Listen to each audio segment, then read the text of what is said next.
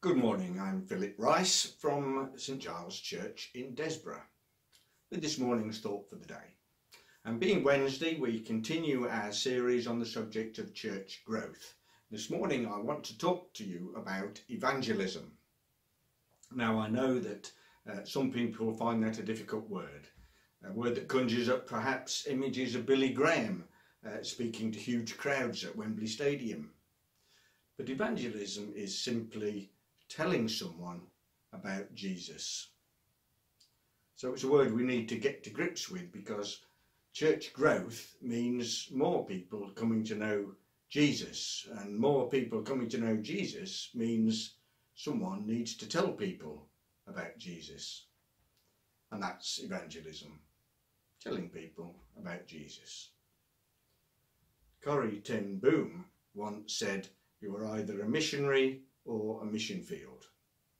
Everyone, in other words, falls into one of those two categories and as we know from the closing chapter of Matthew's Gospel, Christians are commanded by the risen Jesus to go and make disciples of all nations, baptizing them in the name of the Father and the Son and of the Holy Spirit, and teaching them to obey everything I have commanded you. In other words, we're called to be missionaries but it's not something to be frightened of because Jesus went on to say, And surely I am with you always to the very end of the age. In other words, we don't have to be missionaries in our own strength, but with Jesus at our side. If you're not ready to be a missionary, then by default you must be a mission field. Someone waiting uh, for someone else to be a missionary to them. But actually, I believe we're all mission fields. We all need to be constantly learning more about Jesus and how much better life is with Jesus than without Jesus. So that armed with that sure and certain knowledge, we will want to tell others. Reverend Hannah has told us many times that discipleship is about following in the Master's footsteps, endeavouring to be like him to do what he would do. So when it comes to evangelism, the obvious thing to do is to follow the example of Jesus. And when Jesus evangelized, he often used one of two pictures or metaphors, farming and fishing. One of his uh, most well-known farming metaphors is the one in Mark, uh, Mark's Gospel chapter 4 about a farmer who went out to sow his seed. As he was scattering the seed, some fell among, along the path, and the birds came and ate it up.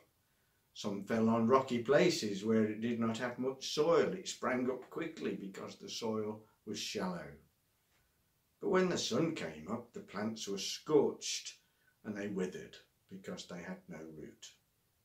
Other seed fell among thorns, which grew up and choked the plants, so that they did not bear grain. Still other seed fell on good soil. It came up, grew, and produced a crop, some multiplying 30, some 60, some a 100 times. Then Jesus said, Whoever has ears to hear, let them hear. So, are you scattering seeds? Some people won't respond positively, and we should expect disappointments. Jesus told his disciples to expect it. So do pray that your seed will fall on fertile soil and celebrate as a church when the response is positive.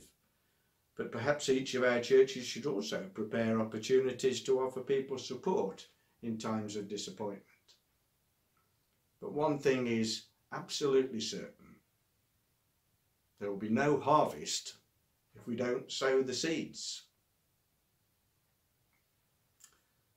Secondly, Jesus used fishing metaphors. In fact, when he called his first disciples, we're told in Mark uh, chapter 1 that he was walking beside the Sea of Galilee when he saw Simon and his brother Andrew casting a net into the sea, for they were fishermen.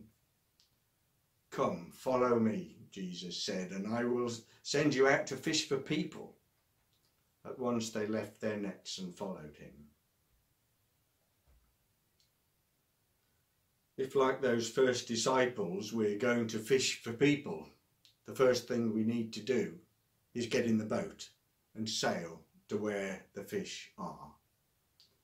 I'm afraid for, for many of us, the boat is tied up in the harbour.